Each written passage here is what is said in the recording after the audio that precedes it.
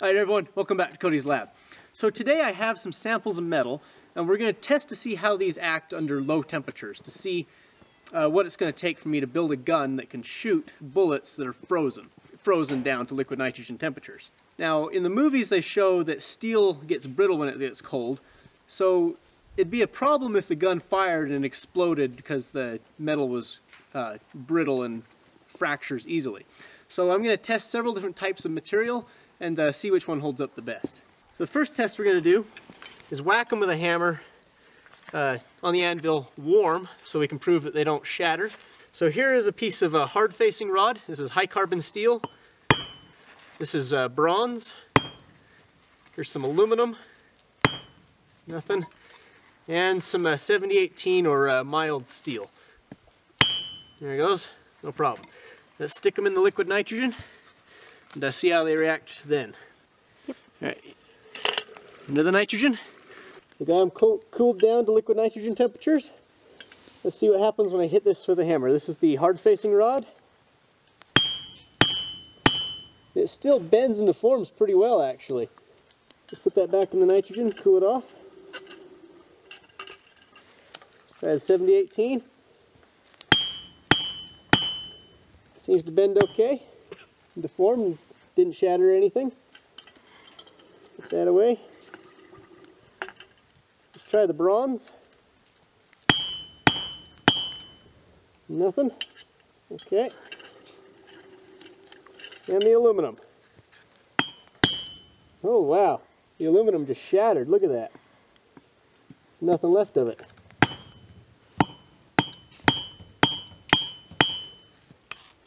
Not at all. That, that's really weak. Look at that. so this was a piece of aluminum welding rod.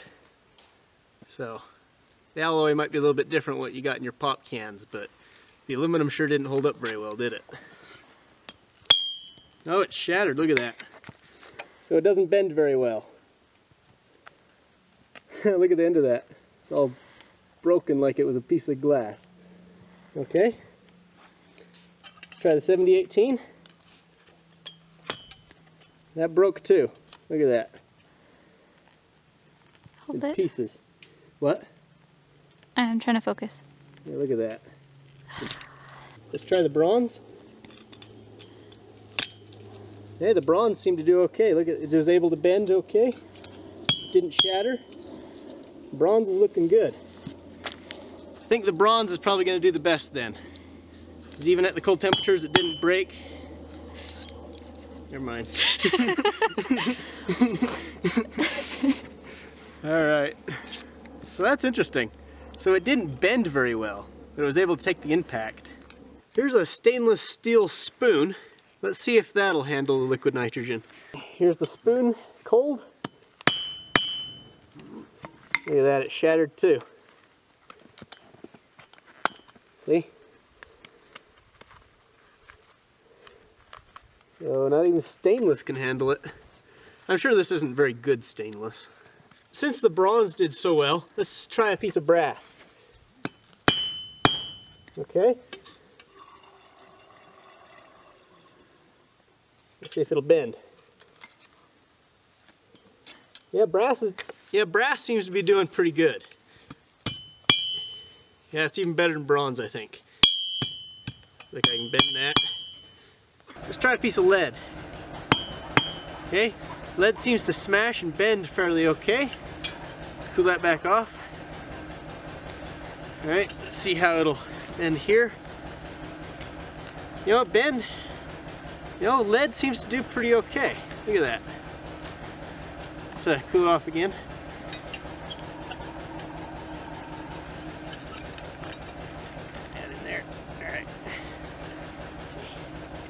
Yeah, it's definitely harder, but I think... Right, so here's a piece of copper pipe. Let's stick this in the nitrogen. Look at that, shooting the nitrogen out of it.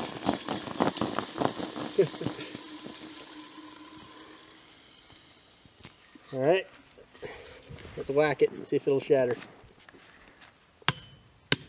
Know, the copper did pretty well actually. See how it just bent?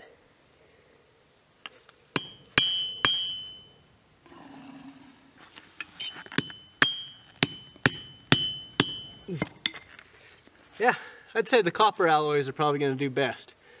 Let's try this piece of pipe and see if it'll break. Oh yep, that shattered like glass. Look at that. Now, I know you guys are all waiting for it. Let's see if we can break the chain by getting it cold.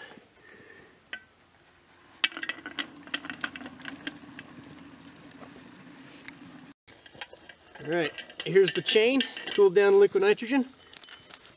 Let's see if it'll break.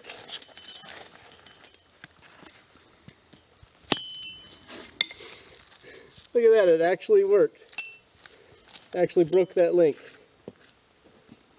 It seems that from my experiments, the cold makes it so that it can't bend almost at all. So it basically makes it harder. But one thing I know for sure is that I'm not going to be able to cool off a regular gun and then fire it that way. It's going to have to be made out of some sort of copper-based alloy. Uh, the brass and bronze seem to do pretty well, a lot better than the steels. Uh, pure copper looks like it does best out of anything, but uh, pure copper is kind of hard to cast and work with, so I might have to put a little bit of zinc in it. So, there you go. Hope you guys enjoyed, and I'll see you next time.